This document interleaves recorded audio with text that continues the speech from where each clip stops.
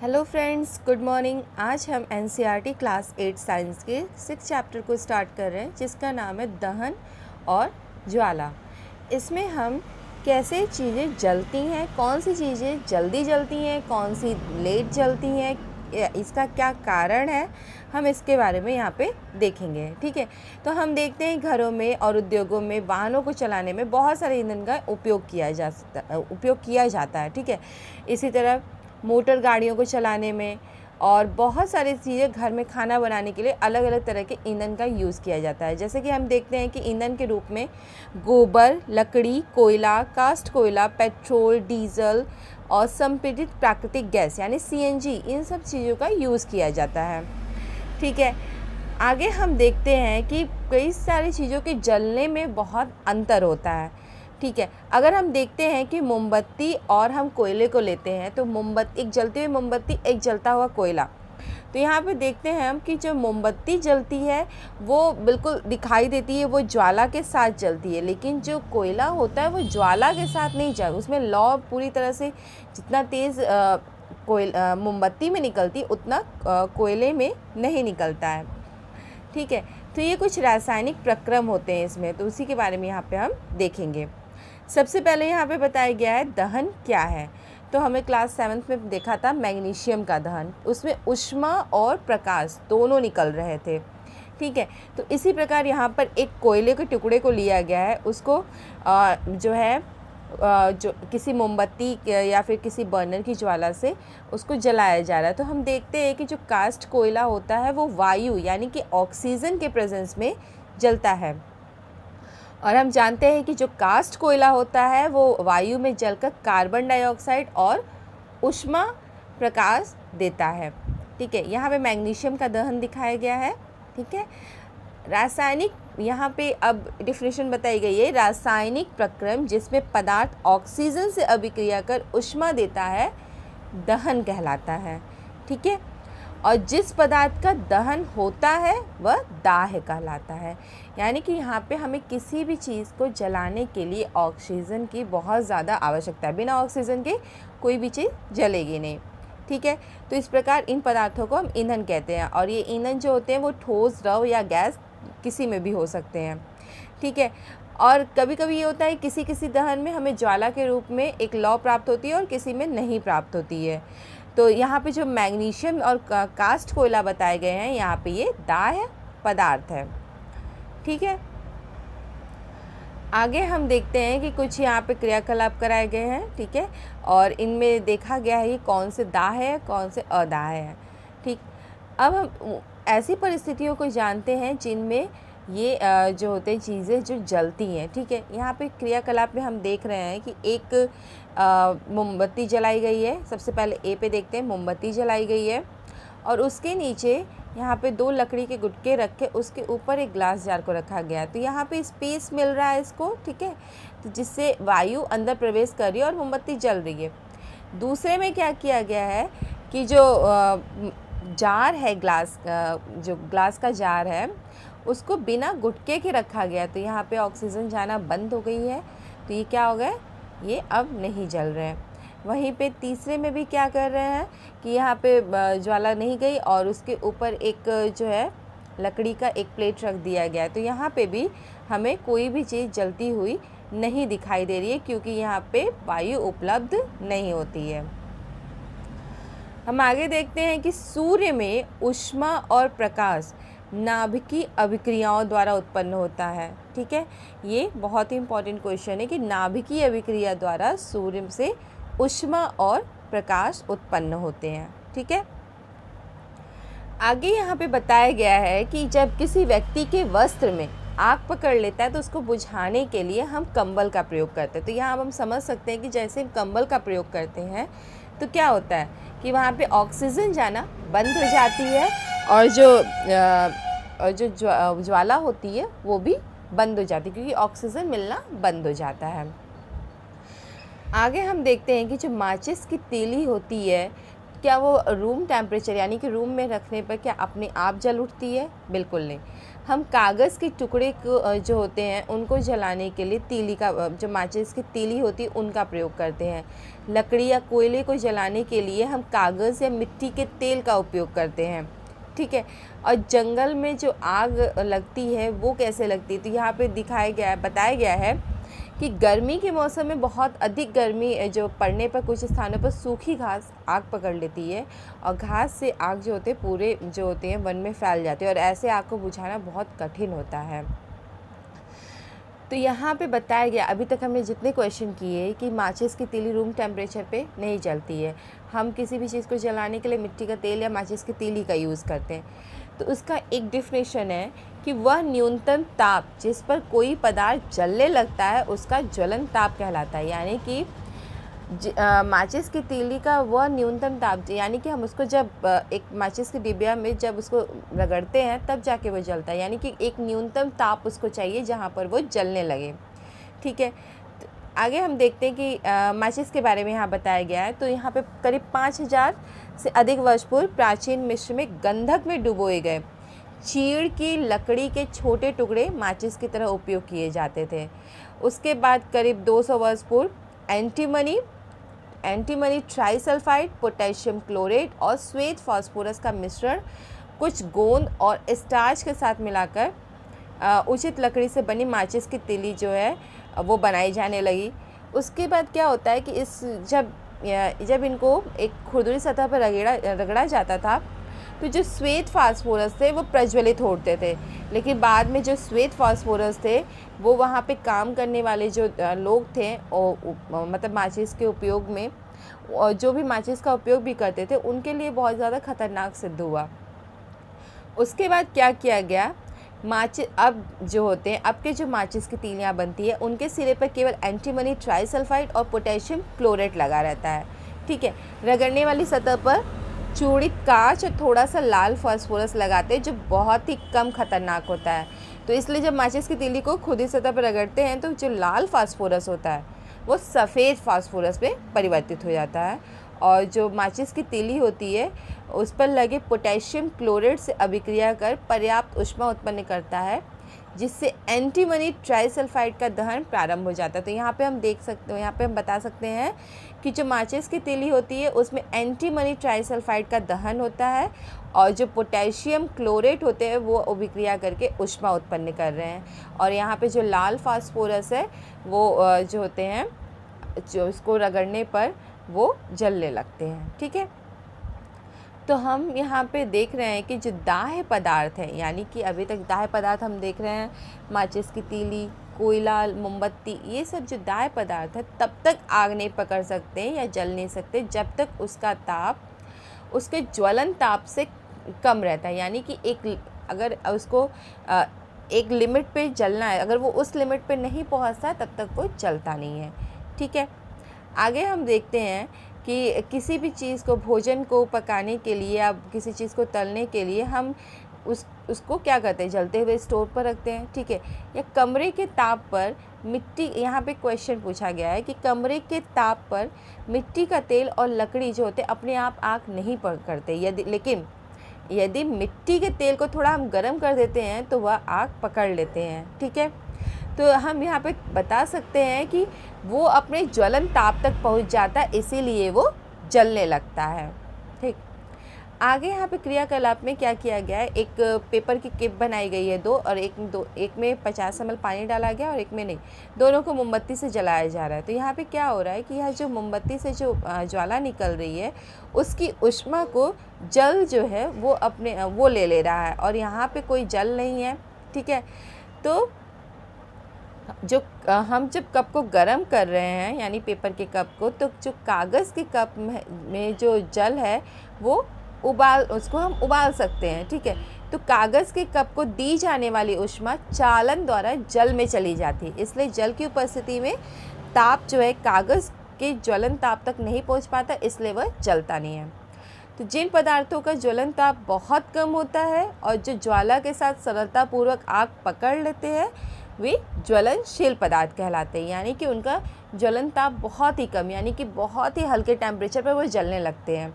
जैसे कि petrol alcohol LPG ये सब जो होते हैं, बहुत ही हल्के टेम्परेचर पर तुरंत आग पकड़ लेते हैं। इसलिए इनको ज्वलनशील पदार्थ कहा जाता है।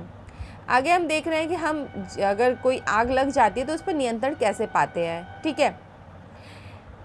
हम देखते हैं कि अगर कुछ आग पकड़ लेता है तो जो अग्निशमन सेवक होते हैं, यानी फायर ब्रिगेड जो होता है, वो पानी फेंक कर आग बुझाते हैं, ठीक है? जल जो होता है, वो जलते हुए पदार्थों को ठंडा करता है, जिससे उनके ताप, उनके ज्वलन ताप से कम हो जाते हैं, इसलिए आग बुझ जाती है, ठीक है? जल वाष्प जो वहाँ पे क्योंकि जल फेंका जाता है और ताप पहले से रहती है तो वहाँ पे जल का जो है वाष्पीकृत होने लगता है। तो जो जल वाष्प है ज्वलनशील पदार्थ को घेर लेता है ठीक है? वो जो पूरी तरह से उसको ज्वलनशील पदार्थ को घेरने के बाद जिससे वायु की आपूर्ति वहाँ बंद हो जाती है और आग बुझ जाती है क्योंकि हमें पहले से पता है कि आ, किसी चीज़ को जलाने के लिए वायु की आवश्यकता है ठीक है? तो हमें अब पता चल गया है कि किसी भी आ, कहीं भी आग उत्पन्न करने के लिए हमें तीन चीज़ों की आवश्यकता होती है। सबसे पहला ईंधन दूसरा है वायु जिसमें ऑक्सीजन की आपूर्ति होती है और तीसरा है उष्मा यानी ईंधन का ताप उसके ज्वलन ताप से अधिक करने के लिए ठीक है? तो इनमें से अगर एक या अधिक आवश्यकताओं को हटाकर आग को नियंत्रित कर सकते हैं ठीक है? और आग बुझाने वाले का जो कार्य वायु का प्रवाह काटना या ईंधन का ताप कम करना या दोनों होता है। यानी कि उनको वायु का प्रवाह बंद करना होता है और ईंधन का ताप भी कम करना होता है। ठीक है? हम इन स्थितियों में ईंधन को नहीं हटा सकते हैं। ठीक है? जैसे कि यदि किसी भवन में आग लग हो, लगी होती है तो संपूर्ण भवन में ईंधन ही होता है। तो या तो हम उसमें वायु का प्रवाह कम कर सकते हैं या फिर वहाँ के ताप को कम कर सकते हैं। ठीक है? यहाँ पे जब अग्निशामक में क्या होता है कि आ, कोई भी चीज़ जैसे कि कागज़ लकड़ी की चीज़ें जलती है तो हम उसको पानी से तो बुझा सकते हैं लेकिन अगर विद्युतीय चीज़ें जल रही हों तो हम उसको पानी से नहीं बुझा सकते क्योंकि उससे क्या होते हैं विद्युत जो होते हैं आ, उनका जो करंट लगने के चांसेस बहुत ज़्यादा होते हैं या फिर तेल या पेट्रोल में भी आग लगी होती है तो भी हम पानी से नहीं बुझा सकते। क्यों? क्योंकि अभी हमने देखा था अपने पिछले चैप्टर में कि जो तेल और जो पेट्रोल हैं, वो जल से हल्के हैं, यानी जल भारी है तो जल नीचे चला जाएगा और पेट्रोल ऊपर आ जाएँगे तो उनके भी जलने का खतरा रहता है। तो यहाँ पे क्या करते हैं, जो विद्युत उपकरण और पेट्रोल जैसे ज्वलनशील पदार्थों में लगी आग के लिए कार्बन डाइऑक्साइड सबसे अच्छा अग्निशामक है। ये हमारे लिए बहुत इंपॉर्टेंट क्वेश्चन है, यानी सी ओ टू अग्निशामक है। ऑक्सीजन से भारी होने के कारण CO2 आग को एक कंबल की तरह लपेट लेती है, यानी CO2 उस जगह को पूरी एक चारों तरफ़ से घेर लेती है और इससे ईंधन और ऑक्सीजन के बीच संपर्क टूट जाता है और आग पर नियंत्रण पाया जाता है। CO2 का अतिरिक्त लाभ यह है कि यह विद्युत उपकरणों को कोई हानि भी नहीं पहुंचाता है। आगे हम देखते हैं कि हमें आखिर CO2 का जो आपूर्ति कहाँ से होती है? तो सिलेंडर से छोड़े जाने पर जो हमें सिलेंडर होते हैं, उस पर छोड़े छोड़े जाने पर सी बहुत ही अधिक फैलती है और ठंडी हो जाती है। अतः यह न केवल आग को चारों ओर से घेर लेती है, बल्कि ईंधन के ताप को भी नीचे ले आती है। इसीलिए यह बहुत ही अति उत्तम अग्निशामक है। CO2 को प्राप्त करने का दूसरा भी तरीका है कि सोडियम बाइकार्बोनेट, यानी NaSCO3 पोटेशियम बाइकार्बोनेट इन सारे पाउडर का भारी मात्रा में छिड़काव करने पर भी कार्बन डाइऑक्साइड गैस निकलती है, जो आग को बुझा देती है। अब हम देखते हैं दहन के प्रकार। ठीक है, हम देख, हम देखते हैं कि जो माचिस की तीली या गैस लाइटर से जो रसोई गैस जो जलते हैं, वो अलग तरीके से जलते हैं। ठीक है, उनके जलने का जो जलना जो उनका देखा जाता है, वो अलग अलग तरह के होते हैं। किसी में नीली लौ होती है, किसी में पीले कलर की होती है। ठीक है तो हम तो हम पाते हैं कि गैस जो है तेज़ी से जलने लगती है और उष्मा और प्रकाश उत्पन्न करती है। इस प्रकार का दहन तीव्र दहन कहलाता है। ठीक है? फास्फोरस जैसे कुछ पदार्थ जो कमरे के ताप पर वायु में जल उठते हैं। हमने इसके बारे में अपने पिछले क्लासेस में बताया था कि फास्फोरस वायु में अभिक्रिया करते हैं, इसलिए वो बहुत तेज़ी से जलने लगते हैं, इसलिए उनको पानी में रखा जाता है। इस प्रकार का दहन, जिसमें पदार्थ बिना किसी प्रत्यक्ष कारण के अचानक लपटों के साथ जल उठता है, स्वतः दहन कहलाते हैं, यानी अपने आप उनका जलना। जैसे कहीं कहीं कोयले के कारखानों में जो कोयले की धूल होते हैं, वो अपने आप उनमें कई बार आग लग जाता है और इनसे बहुत ज़्यादा जो होता है, नुकसान होता है। ठीक है? और जंगल में भी अपने आप आग का लगना।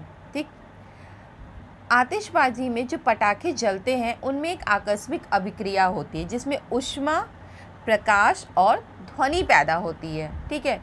तो इस अभिक्रिया में बहुत मात्रा में, बहुत बड़ी मात्रा में गैस निकलती है। तो अभिक्रिया जो होती है, ये विस्फोट कहलाती है। तो पटाखे पर दाब डालने पर भी विस्फोट हो सकता है। आगे हम आगे यहाँ पे ज्वाला के बारे में बताया गया कि जो आग जो जलती है, वो किस तरह की होती है, किसमें ज्वाला ज्वाला पैदा होती है, किसमें नहीं होती है, ठीक है? तो यहाँ पे कुछ जो सारणी बताई, जैसे मोमबत्ती, मैग्नीशियम, कपूर, मिट्टी के तेल, लकड़ी का कोयला, कौन से ज्वाला देते हैं, कौन से ज्वाला नहीं देते हैं? इसके बारे में हम पहले भी डिस्कस कर चुके हैं, इसका आंसर आप दे सकते हैं। ठीक है यहाँ पे आगे बताया गया है कि जो मोमबत्ती को जलाया गया है गैस स्टोव को तो इनके जो ज्वाला का रंग है वो बिल्कुल अलग है। लैम्प का, मोमबत्ती यहाँ पे अलग और ये बर्नर, इन सब की जो ज्वाला है बिल्कुल अलग है उसके रंग। आगे ज्वाला की संरचना, ठीक है? अब ज्वाला की संरचना के बारे में बताया गया है।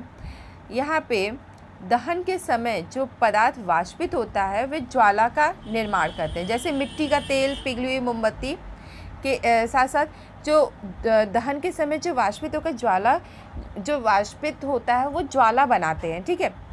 इसके विपरीत लकड़ी का कोयला वाष्पित नहीं होता है इसलिए वो कोई ज्वाला नहीं देता है ठीक है? जब मोमबत्ती की ज्वाला स्थिर हो तो ज्वाला के दीप्त क्षेत्र में जब उसकी ज्वाला बिल्कुल स्थिर होती है बिल्कुल स्थिर करके उसके दीप्त क्षेत्र में एक स्वच्छ कांच की प्लेट या स्लाइड प्रविष्ट कर, कराई जाती है ठीक है, और करीब थोड़ी देर तक उसको वहाँ पे पकड़ के रखने पर क्या पाया जाता है? जो कांच की जो स्लाइड होती है, उस पर एक गोल काला वलय बन गया होता है। यह ज्वाला के दीप्त क्षेत्र में उपस्थित बिना जले कार्बन कणों के जमाव को दर्शाता है। ठीक है, एक पतले लंबे तार को लगभग 30 सेकंड तक ज्वाला में पकड़कर यहाँ पर रखा गया है। ठीक है, क्या देखा जाता है कि तार का भाग जो ज्वाला के कुछ ही बाहर है, वो रक्त तप्त यानी बिल्कुल रेड हॉट हो जाता है। हमें इससे यह पता चलता है कि ज्वाला का ये भाग बहुत ही ज़्यादा गर्म होता है। सोने और चांदी को पिघलाने के लिए सुनार जो होते हैं, वो धातु की फूकनी से ज्वाला के सबसे बाहरी भाग को वहाँ पर फूकते हैं और जिससे वहाँ पर ज्वाला पहुँचती है। जैसे कि यहाँ पे एक मोमबत्ती, एक स्थिर मोमबत्ती की जो ज्वाला होती है, उसके बारे में बताया गया एक उसके पार्ट्स, ठीक है? ये यहाँ का जो सब, रेड वाला पार्ट, वो सबसे गर्म है और पूर्ण दहन का यहाँ पे जो सबसे आउटर में निकला है वो नीला भाग। बीच में सबसे गर्म है और जो बिल्कुल पीला है वो आंशिक दहन वाला मध्य भाग होता है, ठीक है, जहाँ से हमें कार्बन के जो कण प्राप्त हो रहे थे। ठीक है, यहाँ पे ये सबसे गर्म है जहाँ पे मोमबत्ती का जो रिबन होता है जहाँ से जलती है। उसके उसके बाद, यहाँ ये मोमबत्ती के बारे में, ये पूरे उसके स्ट्रक्चर के बारे में बताया गया। आगे हम देखते हैं ईंधन क्या है। ठीक है। हम जो घरों में ऊर्जा उत्पन्न करने के लिए चीज़ों का या औद्योगिक उपयोग में करते हैं, उष्मा उत्पन्न करने के लिए, जैसे लकड़ी, कास्ट, कोयला, पेट्रोल, मिट्टी के तेल आदि, ये सारी चीज़ें जो होती हैं, ये ईंधन कहलाती हैं। और सबसे अच्छा ईंधन वही होता है जो हमें आसानी से मिल सकता है, सस्ता होगा और वायु में एक सामान्य दर से सुगमता पूर्वक जलता होगा। और अधिक मात्रा में उष्पन्न उष्मा जो है, वो उत्पन्न करेगा और इसके जलने के उपरांत कोई भी अवांछनीय पदार्थ या नहीं छोड़ता है। ये सबसे अच्छे ईंधन माने जाते हैं। लेकिन ऐसा कोई भी ईंधन नहीं है जिसे एक आदर्श ईंधन माना जा सके, ठीक है? आगे हम देखते हैं कि ईंधन के मूल्यों में भी भिन्नता होती है। कुछ ईंधन जो होते हैं, अन्य ईंधनों की अपेक्षा सस्ते होते हैं। आगे है ईंधन दक्षता, ठीक है? ईंधन दक्षता में बताया गया है कि जैसे गोबर के उपले, कोयले और एलपीजी को अगर हम जलाकर एक लीटर पानी उस तीनों पे अलग अलग उबालना चाहें, ठीक है? तो इसमें क्या होता है कि सबसे अच्छा कौन सा होगा? तो किसी ईंधन के एक किलोग्राम के पूर्ण दहन से प्राप्त उष्मा, ऊर्जा की मात्रा उसका उष्मीय मान कहलाती है। ये इंपॉर्टेंट है, ठीक है? तो ईंधन के उष्मीय मान को किलो जूल प्रति किलो ग्राम मात्रक द्वारा दर्शाया जाता है। यहाँ पे अलग अलग ईंधन के अलग अलग यहाँ पे उष्मीमान बताए गए हैं, ठीक है?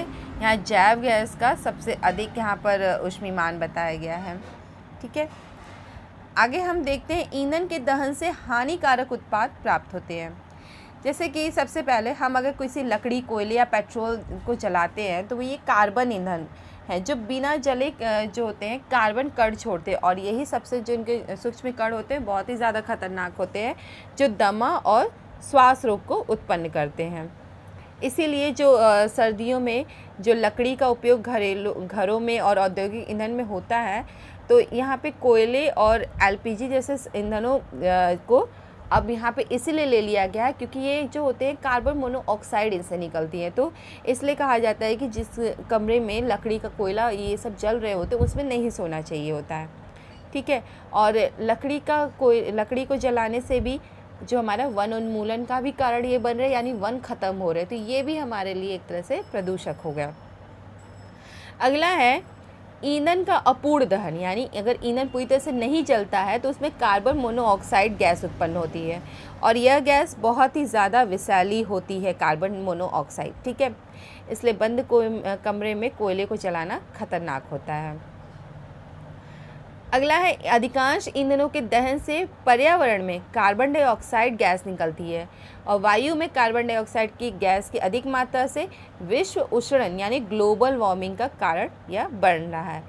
तो अगर ये कार्बन डाइऑक्साइड अगर गैस बढ़ती जाएगी तो पृथ्वी का टेम्परेचर बढ़ता जाएगा और इससे जो हमारे ग्लेशियर्स हैं हेमनत वो पिघलने लगेंगे और जिससे समुद्र का जल स्तर बढ़ जाएगा और तटीय क्षेत्र बाढ़ग्रस्त हो सकते हैं।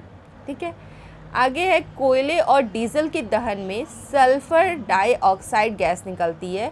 इसको दम घोटू गैस कहते हैं, यानी सल्फ़र डाइऑक्साइड को दम घोटू या संचारक गैस। और इसके अतिरिक्त पेट्रोल इंजन, नाइट्रोजन गैस ही ऑक्साइड छोड़ते हैं। सल्फ़र और नाइट्रोजन की ऑक्साइड वर्षा जल में घुलते हैं और अम्ल बनाते ऐसी वर्षा को अम्ल वर्षा कहते हैं। यहाँ हमारे लिए दो क्वेश्चन बहुत इंपॉर्टेंट है कि दम घोटू गैस कौन सी होती है? सल्फ़र डाइऑक्साइड और अम्ली वर्षा क्या होती है? ठीक है? तो ये अम्ली वर्षा जो होती है फ़सलों और भवनों के मृदा के लिए बहुत ही हानिकारक होती है। इसी अम्ली वर्षा के कारण हमारे संगमरमर जो के जो यहाँ पे ताजमहल है वो आ, पीले पड़ रहे हैं। आगे है, मोटर वाहनों में ईंधन के रूप में डीजल और पेट्रोल के स्थान पर अब सीएनजी यानी संपीड़ित प्राकृतिक गैस कंप्रेस्ड नेचुरल गैस को यूज़ किया जा रहा है क्योंकि जो सीएनजी है वो सल्फ़र और नाइट्रोजन के ऑक्साइडों का उत्पादन बहुत ही कम मात्रा में करती है और यह एक स्वच्छ ईंधन है। ठीक है? अब हम कुछ इंपॉर्टेंट पॉइंट्स देख लेते हैं। सबसे पहले, दाह किसे कहते हैं? ठीक है? तो जो पदार्थ वायु में जलते हैं, वे दाह कहलाते हैं और इनके दहन के लिए ऑक्सीजन की आवश्यकता होती है। और जब ये जलते हैं तो उनमें उष्मा और प्रकाश उत्पन्न होते हैं। ज्वलन ताप क्या है? ज्वलन ताप वह निम्न ताप है, जिस पर दाह पदार्थ आग पकड़ लेते हैं, ठीक है? और ज्वलनशील पदार्थों का ज्वलन ताप जो होता है, बहुत ही कम होता है। जैसे हमने देखा था, पेट्रोल, डीजल, कैरोसिन, ये बहुत ही कम ताप पे ही आग पकड़ लेते हैं। ठीक है, हमने देखा था आग उत्पन्न करने के लिए हमें तीन चीज़ों की आवश्यकता हो रही थी। अगर उनमें से हम एक भी चीज़ों को हटा दे रहे थे तो जैसे कि ईंधन, वायु और ताप। अगर हम वायु का और ताप वायु को हटा दें और ताप को कम कर दें तो क्या होगा? आग को हम नियंत्रित कर सकते हैं। आग के नियंत्रण के लिए जल का प्रयोग होता है, ठीक है? जो लकड़ी और जो कागज़ के लगे आग होते हैं, उन पर पानी का यूज़ होता है। लेकिन जहाँ विद्युत उपकरणों और तेल से लगी आग होती है, उनके लिए अग्निशामक जो होते हैं, वो सी गैस, ठीक है? तो दहन अलग अलग तरह का होता है, जैसे तीव्र दहन, स्वतः दहन और विस्फोट, ठीक है? ज्वाला के तीन भिन्न क्षेत्र होते हैं। सबसे पहले अदीप्त क्षेत्र, दूसरा दीप्त क्षेत्र और एक ज्योतिहीन क्षेत्र, जैसे हमने पैरेट भी देखा। आगे है आदर्श ईंधन, सस्ता ठीक है, सस्ता, आसानी से उपलब्ध होने वाला और आसानी से चलने वाला और बहुत ही वहन योग्य यानी कि वहन के योग्य होता है और इससे कोई भी हानिकारक पदार्थ नहीं निकलते हैं। पर ऐसा कोई आदर्श ईंधन नहीं है। ईंधनों की दक्षता और मूल्य जो होते हैं, वो अब परस्पर ही अलग होते हैं। उनका उष्मीय मान उनकी दक्षता को प्रदर्शित करता है किलो जूल प्रति किलोग्राम में। वायु में बिना जले कार, कार्बन कण जो होते हैं बहुत ही खतरनाक प्रदूषक होते हैं और श्वसन कष्टों को यानी दमा को उत्पन्न करते हैं। और ईंधन के अपूर्ण दहन से विषैली गैस कार्बन मोनोऑक्साइड गैस निकलती है और कार्ब अगर कार्बन वायु में अगर कार्बन डाइऑक्साइड की मात्रा बढ़ जाए तो ग्लोबल वार्मिंग यानी विश्व उष्ण का खतरा बढ़ जाता है। कोयले डीजल और पेट्रोल के दहन में दहन से उत्पन्न सल्फ़र और नाइट्रोजन के ऑक्साइड अम्ल वर्षा उत्पन्न करते हैं, जो फ़सलों, भवनों और मृदा के लिए हानिकारक होते हैं। ठीक है? तो इस तरह से हमें ईंधन का बहुत ही सावधानी पूर्वक प्रयोग करना चाहिए या उपयोग करना चाहिए। ठीक है? तो हमारा आज का चैप्टर यही तक हमारा वीडियो कैसा लगा हमें ज़रूर बताइएगा और इसे लाइक, शेयर और सब्सक्राइब भी ज़रूर करिएगा। Thank you. Have a good day.